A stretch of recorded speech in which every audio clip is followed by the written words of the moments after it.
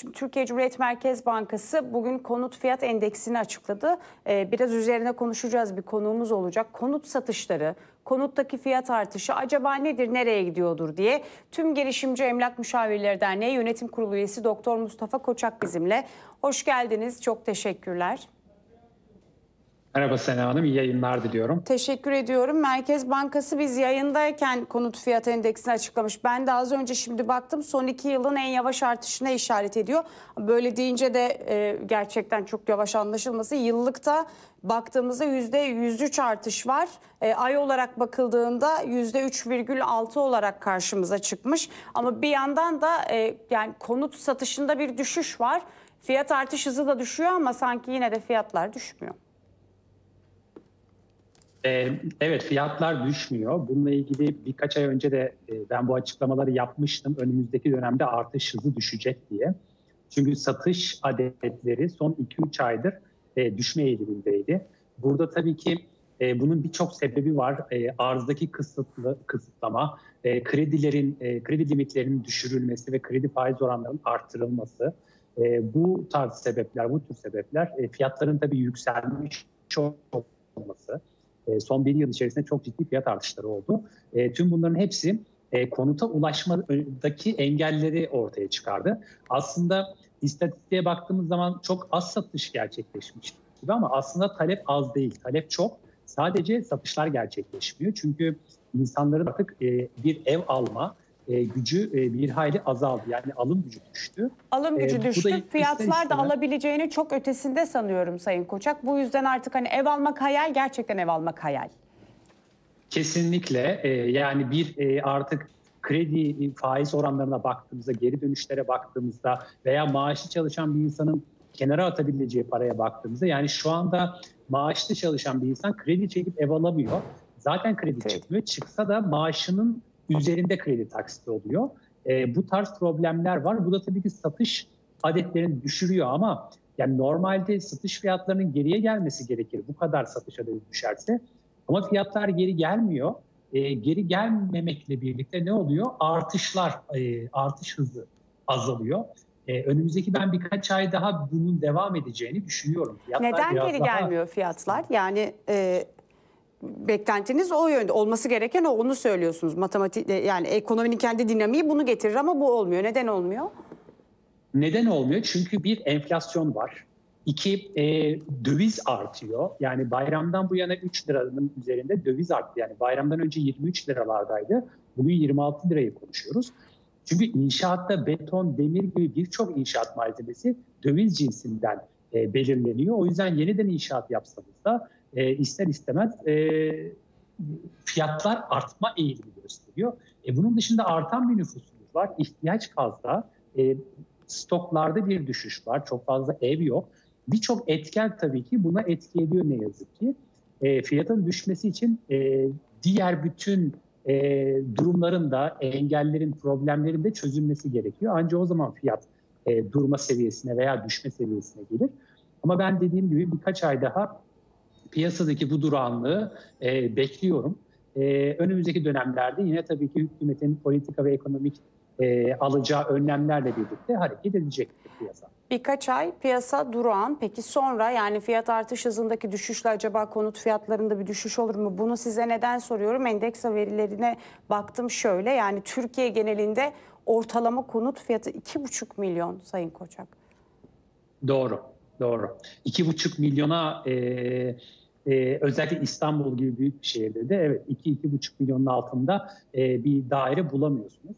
E, bu tabii ki e, piyasayı biraz daha e, şeye e, çıkmaza sokuyor. Satın alamayınca bu sefer kiralığa yönelmek istiyorlar. E, bu da kira fiyatlarını arttırıyor. Kira, kira fiyatları artınca satış fiyatları dolaylı olarak artmaya sebep oluyor. E, tabii ki burada e, yani konut fiyatlarındaki durağanlık neden devam ediyor? İnsanlar zarar etmek istemiyor. Çünkü paraları değer kaybediyor.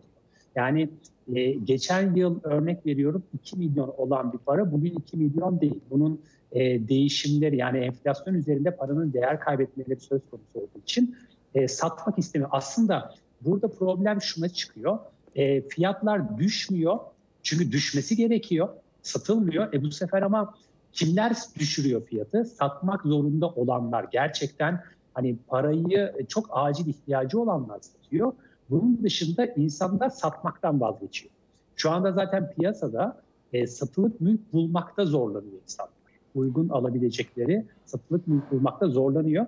Çünkü dolar artınca insanlar eğer acil satmak zorunda değilse fiyatı yükseltmek istiyorlar. Yükseltiyorlar tabii satılmıyor bu da. Bu da piyasayı hani bu satış adetlerini düşürme eğilimini gösteriyor. Bir köpük oluşturuyor piyasada öyle anlıyorum. Yani acil satmak zorunda değilse evi varsa ikinci, üçüncü evi onu boş tutuyor. Kiralamak da istemiyor. E böyle olunca acaba insanın da aklına şu soru geliyor. Bu boş ev vergisi diye çok konuştuğumuz konunun gündeme gelmesi bu sorunu belki bir parça çözer mi? E, kesinlikle çözer çünkü satmak istemeyen, şimdi biz geçtiğimiz 3-4 ay öncesine kadar şunu konuşuyorduk e, kiraya vermek istemeyen satıyor diyorduk. Çünkü kiralamalarda da bazı biliyorsunuz kiracı mülk sahibi uyuşmazlıkları yaşandığı için bunlar da çok haber konusu. Siz de çok fazla bununla ilgili haberler yaptınız. Kiraya vermek istemeyen boş tutuyor ve boş ev sayısı ciddi derecede artmıştı. E, kiraya vermek istemiyor ama satıyor diyorduk. Şu anda bunu da geçtik. Kiraya vermek istemiyor, satmıyor, daha doğrusu satamıyor. Bu sefer de boş. Bunların da önüne geçilmesi gerekiyor. Tabii ki boş ev vergisi çıkartılırsa insanlar e, ya vergi ödemek zorunda kalacaklar ya da bir aksiyon almak zorunda kalacaklar. Şu an piyasanın problemi zaten durağanlık yani bir hareket olmaması. E, kiralama, kiralamak da istemiyor, satmak da istemiyor. Duruyor. E, durduğu zaman da e, o boş kalıyor ve bu sefer e, konut problemi yaşıyoruz. E, arzı da yükseltem yani çok istenen oranda yükseltemiyorsunuz nüfusla eşanlı. Çünkü e, maliyetler ortada, kur ortada. Böyle bir çıkmaz da gibi sanki sektör. Ne dersiniz bilmiyorum. Sizin anlattıklarınızdan ben sanki onu anladım gibi. Ee, aslında çıkmaz da değil. Bununla ilgili değişik yani çözümler var. Çözümler yapılabilir. Ama tabii ki burada e, bununla ilgili genel bir e, çözüm üretilmesi gerekiyor. Yani e, konut yapalım, konut yapalım diyoruz. Tamam konut yapalım ama eğer şehirleşme de yapmazsak, nüfusu da kontrol altına almazsak, göç, göçleri de kontrol altına almazsak istediğiniz kadar konut yapın. Yaptık işte konut ne oldu? Hala konut sıkıntısı yaşıyoruz. Çünkü özellikle büyük şehirlere mesela şu anda şöyle bir örnek vereyim size. Ege'ye veya biraz daha güneylere o kadar çok göç oluyor ki önümüzdeki belki 3-4 yıl sonra orada bir konut sıkıntısı yaşamaya başlayacağız. Çünkü çok fazla insan gidiyor. Belki hatta şu an bile Ege bölgesinde e, birçok e, konut sorunu yaşanan bölgeler olmaya başladı. Yani buradaki aslında göçü veya nüfus yapılanmasını daha planlı bir şekilde yaparsak bu iş ancak bu şekilde çözülür. Onun dışında yapılan bütün çözümler e, günü biraz kurtarmayı sebep oluyor.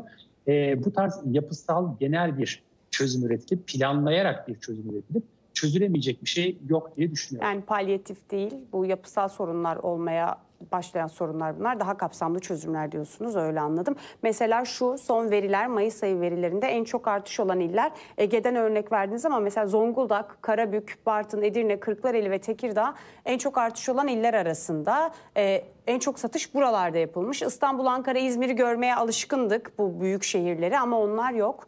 Neden? Ee, şimdi e, özellikle bu sene tabii ki konut krizine sebep olan şeylerden bir tanesi de depremdi. E, depremle birlikte artık biraz daha büyük şehirlerden, yüksek katlı binalardan, nüfus yoğunluğunun çok olduğu yerlerden biraz kaçış olmaya başladı. Tabii bununla ilgili de çok defa konuşmuştuk. E, İstanbul'dan e, uzaklaşmak isteyen insan nereye gidecek? İstanbul'a yakın konumda, 2 saatlik, 3 saatlik konumda olan yerlere gitmek isteyecek. İşte bunlar da aslında biraz daha işte e, Tekirdağ, işte Kırklareli, e, Kocaeli, Sakarya, Bartın, Zonguldak gibi İstanbul'a yakın olan konumlara biraz daha göç başladı. E, bu zaten aslında son e, 6 aydır yani depremden itibaren e, yoğunlaşmıştı. Pandemiyle birlikte aslında başlamıştı. Depremde hat safhalara ulaştı. E, o yüzden İstanbul'a yakın daha doğrusu büyük şehirlere yakın diyeyim. Büyük şehirlere yakın ama biraz daha nüfus yoğunluğunun az olduğu, biraz daha bahçeli az katlı binalarda oturabilecek ve bununla birlikte ucuz konut bulabilecek. Yani bugün örnek veriyorum İstanbul'da 2-2,5 milyon diyorsunuz. Bunun çok daha altında İstanbul'da birkaç saat mesafede e, başka bir şehirde ev bulabiliyorsunuz.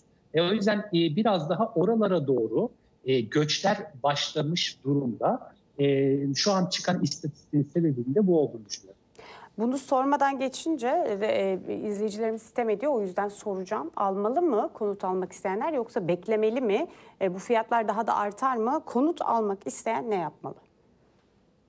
Ee, Ben e, dediğim gibi bir 2-3 ay daha e, önümüzdeki dönemlerde e, piyasanın biraz daha durağan olduğunu olacağını düşünüyorum.